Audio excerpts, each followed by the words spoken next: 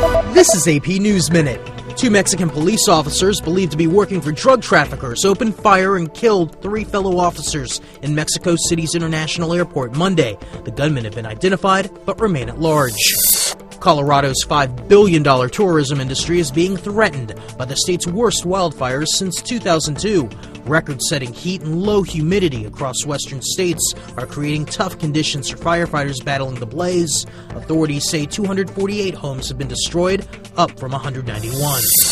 A Penn State mural artist, Michael Pilato, has replaced an image of disgraced former assistant football coach Jerry Sandusky.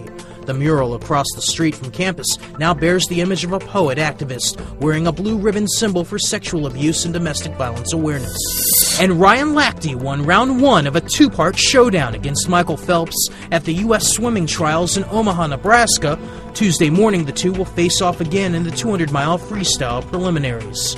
Matt Small, The Associated Press, with AP News Minute.